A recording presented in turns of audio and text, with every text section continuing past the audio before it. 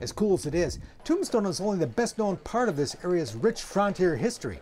And there may be no one who has more fun showing it off than Arizona Bill. Touring the desert outside Tombstone with Arizona Bill is fascinating. There are all kinds of abandoned mining claims and the ruins of old ghost towns like here in Courtland, once a thriving mining community. We also saw the site of the ghost town of Pearce and Gleeson with its long abandoned mercantile, the ruins of an old hospital, and the jail tree.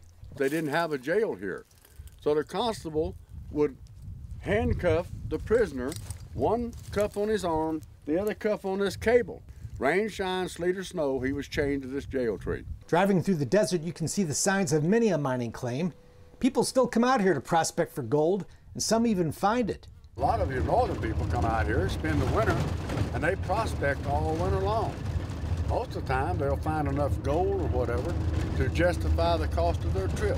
Yeah. That's right. Yeah. I can tell. Back at the ranch that night, the hunt for gold continues at the poker table. Looks like Wyatt Earp himself is dealing the cards for a friendly play money game of Texas Hold'em, with instructions included. Well, this is Wyatt Earp. As far as teaching Texas Hold'em, I'm not sure anybody's learning, but so far we're having fun. One pin, two pin. Rookie gambler Elsa was having a good run of beginner's luck. Nicely done. Cleaning up on this night, a great way to wind up what had been a very fun day. Yeah, you're playing. Just a book. Ah, oh. Yeah. But there's more to come in the morning. Sunrise at Tombstone Monument Ranch. Horses quietly come to life in the corral as the warm rays of the sun light up the old frontier style buildings and the historic monument in the desert. Soothing moments. One of the things I just love about Tombstone Monument Ranch is the peace and quiet. Love the horses, and it's great fun to experience the Old West, but it's also good for your soul to escape the madness out there for just a bit and enjoy the stillness of the desert.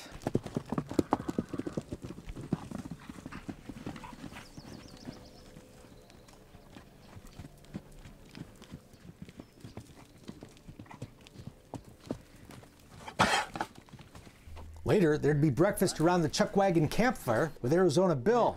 Mm-hmm. Thank you. All right, we ready? Give him a good kick and follow me. and the day's first ride. It feels like we're staying on a movie set. Steve and Katina McGrath are here from Connecticut and having a blast horseback in the desert. Oh, having a great time. This is just wonderful. You get the whole Western experience. we just love it.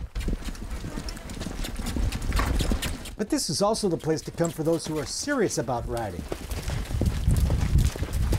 Fast rides are offered here for those who can pass the fast ride test, and the ranch offers lessons for newcomers who want to join that fun.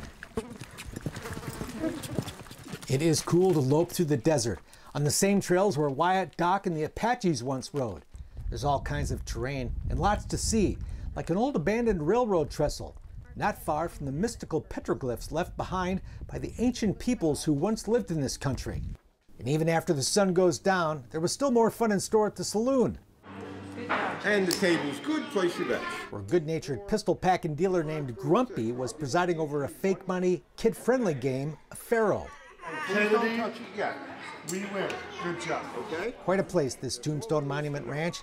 A place really like no other. A historic retreat that features the best of the modern world, a soothing break from all of its hassles, and some truly unique opportunities to step back into the past. And perhaps best of all, all kinds of great horseback riding for people of every ability level. No wonder people like our German friends come back time and again. I think I'll have to join them.